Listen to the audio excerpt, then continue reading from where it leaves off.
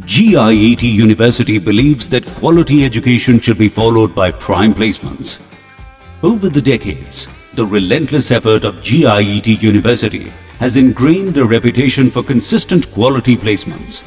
It has formed enduring and constructive partnerships with the corporate and industries to provide foot in the door opportunity to all the eligible students. Hello everyone, my name is Saurabh Suman. I belong to Ranchi, Jharkhand. I'm currently pursuing a BTech degree from Gandhi Institute of Engineering and Technology University and I have been placed in Hexaware Technologies. So coming down to the exposure and the facilities that I have been provided through my college, it is the thing that has made me today. So basically the TNP cell and the PPD classes have supported supported me a lot enabling them to start off their career just right after they complete their course curriculum without facing the real world job struggle. Hello friends, my name is Somya Padi.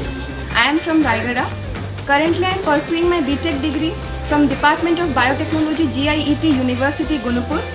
Currently I have been placed from BTech Solution and it is in Vadodara, Gujarat.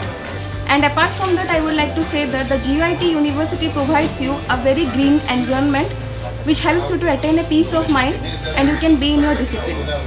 As a result, GIET University has been crowned the best university in Eastern India for campus placement at the Asia Education Summit 2020. With an impeccable overall placement record of more than 15,000 students placed in the world's most leading companies, exhibiting a constant rise up to 90% placements in 2020 in over 100 topmost companies.